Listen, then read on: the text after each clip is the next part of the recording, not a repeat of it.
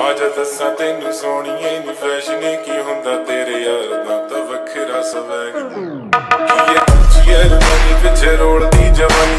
ਰੋਲਦੀ ਜਵਾਨੀ ਰੋਲਦੀ ਜਵਾਨੀ ਤੇ ਕਰਦੀ ਬਰਨਾ ਵਾਲੇ ਟੈਗ